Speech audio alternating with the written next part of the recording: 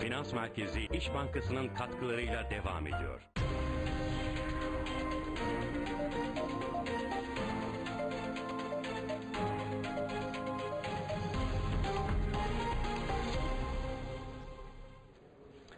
Evet tekrar beraberiz. Türk, e, HFL Türkiye Genel Müdürü Hilmi Uyutun efendim hoş geldiniz. Yayın öncesinde söyledik hani e, bazı markaların söylenişi Türkçesi, yabancı dilde işte çoğumuz İngilizce bildiğimiz için İngilizce olarak okumaya çalışıyoruz ama firma bir Fransız firması olabiliyor, Alman firması oluyor, e, İskandinav ülkesinin e, bir markası oluyor. Farklı okunuyor. Öncelikle nasıl diyelim? Almanca tarafı- telaffuzu Hefele. A üzeri umlaut eksi 2 nokta E okunuyor.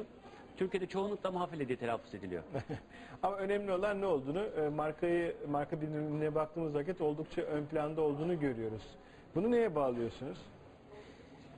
Ee, bildiğiniz gibi biz mobilya ve kapı donanım ve aksesuarlarında öncü lider bir firmayız. Ee, mobilyanın işlevini anlatabiliyoruz. Ee, buradaki yarattığı konforu ifade edebiliyoruz. Bu sayede de tercih edilme sebebimiz artıyor.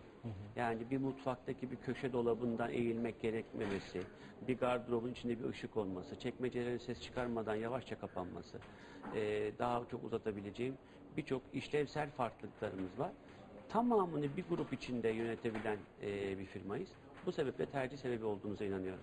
Şimdi e, ben e, şirketleri incelerken ve biz bu konu üzerinde e, mikro ölçekte e, varlıklarını nasıl devam ettirdiğini incelerken e, hep özendiğim bir konu işte 1900'lerde, 1930'lara işte o civarlarda kurulmuş firmaların hala yaşıyor olması son derece önemli. Şimdi e, nasıl kişilerin CV'leri var aslında firmaların da var bu anlamda. Yani varlarsa bu tarihlerden beri bir 100 yılı devirmişlerse bunun mutlaka bir nedeni var. Bunun yönetim anlayışı olabilir, kalite olabilir, e, inovasyonu sürekli gerçekleştiriyor olabilir. E, işte 1923 yanılmıyorum değil mi Evet. kuruluş? O günden bugüne hani bu söylediklerimizin hepsini herhalde e, tek tek e, gözlemleyebiliyor muyuz? Bununla ilgili kısa bir bilgi notu aktarır mısınız bizlere? Ee, çok sevinerek benim de ilgi konum. Hatta ee, araştırdığım da bir konu. Ee, kıta Avrupa'sında 100 yılı ee, yakın firma sayısı çok çok az.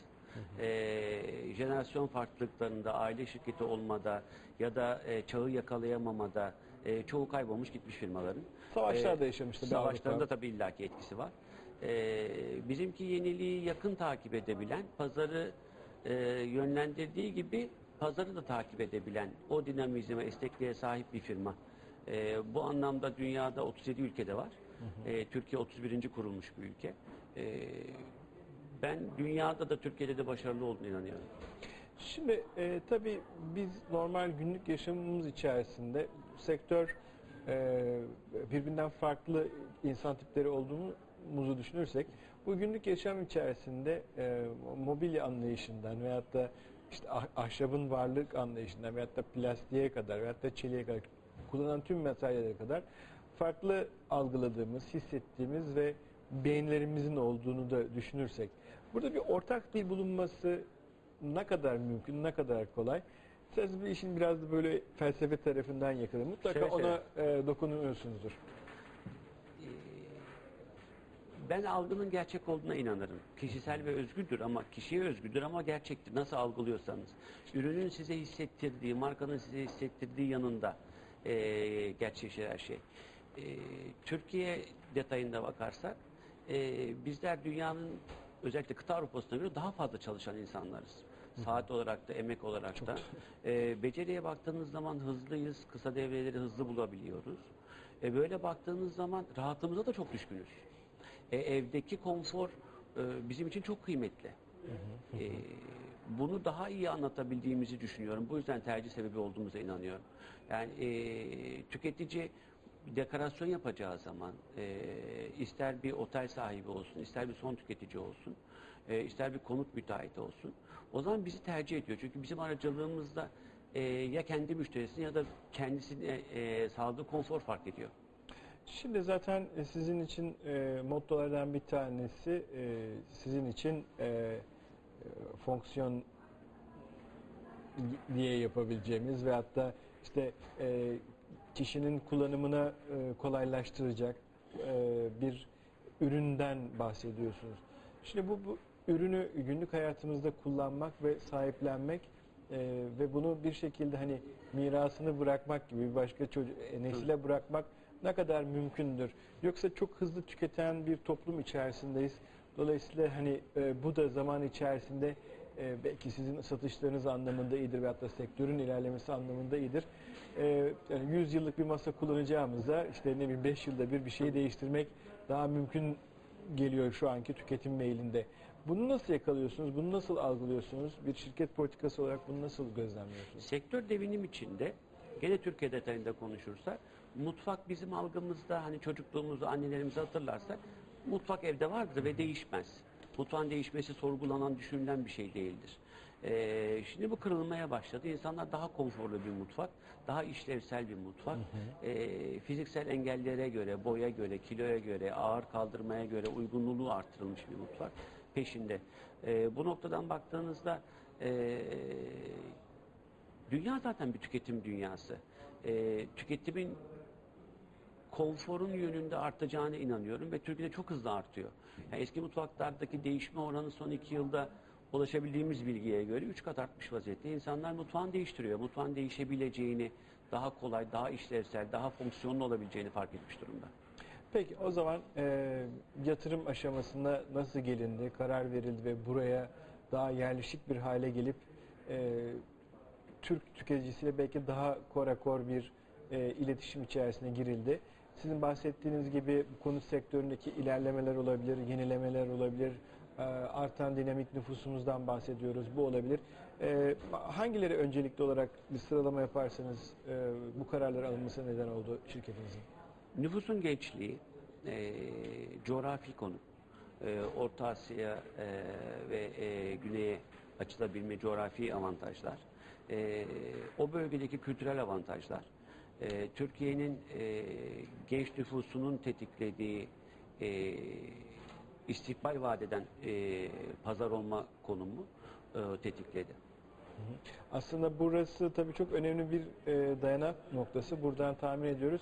Farklı ülkelere de e, kapılarını da açıyorsunuz. Bu anlamda nasıl bir e, Bu organizasyonda neredeyse bir ilk oldu. Ee, normalde her ülke kendi içinden sorumludur. Ee, Türkiye ekibi olarak biz gösterdiğimiz başarıyla 7 ülkeyi daha bize bağlattık. Ee, Gürcistan, Türkmenistan, Özbekistan, e, İran, Irak, e, Kırgızistan bize bağlandı. Ee, o ülkelerin ihracatını Türkiye'den yönetiyoruz. Dolayısıyla Türkiye'de ihracatçı bir kimliğimiz oldu ve ihracatta çok hızlı büyüyoruz. Ee, Türkiye coğrafyasında e, kıta Avrupa'sında çok fazla bir şey beklenmiyor artık hepimizin bildiği gibi. E, halbuki burada çok şey bekleniyor. Yani e, o e, hayallerin ülkesi Amerika değil Türkiye. Şimdi e, bu konuda evet hemfikiriz e, sanıyorum. E, bu hayallerimizi kurmak için de ya e, mağazalara gideceğiz veyahut da kataloglara bakacağız. Şimdi bu bence da internet üzerine gideceğiz. E, dolayısıyla zamanımızın da e, az olduğu bir ülkede yaşıyoruz. Şimdi sizin söylediğiniz gibi çalışma koşullarımız ve şartlarımız daha farklı Avrupa'ya göre. Dolayısıyla hızlı bir takım şeylere e, ulaşmamız gerekiyor, bilgilere diyelim. Şimdi yine bakarken yani çok uzun e, yıllar evvel e, kuruluşunuz bir şekilde katalog basımında hatta böyle e, e, literatüre geçmiş Dokümantasyon. e, dokümantasyonları var. Bu anlamda tabii o işi çok iyi bilmekle beraber bizim ülkemizin insana internette de görse ki o biraz değişiyor. Katalogda da görse gidip dokunmayı seviyor tahmin ediyorum. Bu anlamda nasıl bir e, iletişim içerisine girdiniz? Dünyadaki iş yapış modelinden daha mı farklı Türkiye'de acaba bu anlamda? Çok farklı. Ee, gene başka bir ilki yaptık bir sefer Türkiye ekibi olarak. Ee, dağıtım kanalında Türkiye'de e, mevcut dağıtım kanallarında kendimize bir konum bulamadık. O zaman Türkiye'de bir franchise modeli kurguladık. Hefe'nin dünyada franchise kurgusu yoktu o zaman. Ee, franchise tahmin edebileceğiniz gibi çok kapsamlı birçok sürecin yönetildiği bir iş modeli. Ee, Türkiye'de modelledik. Ee, hatta son iki senedir Türkiye'deki modeli dünyaya ihraç ediyoruz. Ge- dört TFR ülkesi bizden modeli ihraç, e, ithal etti. Ee, 17 mağazamız var şu anda sektörde. Ee, 17 mağazayla ulaşabilirliğimizi çok arttırdık. E, mağazalarında çalışanların teknik donanımını arttırdık. danışabildiğiniz zaman insanlar size doğru bilgiyi verebiliyorlar. E, bunun ötesinde e, birçok sektöründe üzerinde yüzde sekiz civarında bilgi işlem personelimiz var. E, Türkiye'de 38 bin ürün kodu pazarlama ve dağıtımını yapıyoruz. E, 38 bin ürün kodunu müşteriye yalın, hızlı e, ve doğru sunabilmek için ciddi bir bilgi işlem altyapısı gerekli. Burada çok başarılı olduğumuza inanıyorum. E, İnsanlar e, daha da kolay ne yapabiliriz, daha yalın nasıl olabilir diye e, yeni bir web sitemiz var hafeleevim.com.tr diye. Orada evdeki mobilyanın çeşidini seçebiliyorsunuz. Kaplamasını değiştirebiliyorsunuz. Sizin evdeki kaplama rengini bulabiliyorsunuz. Bizim mobilya kulplarımızı onun üzerinde üç boyutlu deneyip uyumluluğunu görebiliyorsunuz. E, dokunma ihtiyacını kaldırmaz ama minimize eder. Hani hiç zamanınız yoksa benim mobilyamda nasıl durur bu? Diyorsanız çünkü bir katalogda bu algıyı yakalayamıyorsunuz. Ee, çünkü ev, katalogda kullanılan renkle evdeki renk bambaşka olabilir. Çok doğru. E bir mobilya kulbu e, tabiri caizse bir kadının gerdanlığı gibi. Yani e, o çok süsleyen, rengi, e, hissi değiştiren bir şey. E, o anlamda da e, çok hızlı büyüyoruz. Çok tercih edilen markayız. Peki siz biraz soluklandırın reklam arasına gidelim. Daha Teşekkür sonra ederim. Türkiye'de acaba e, eğilimler nedir?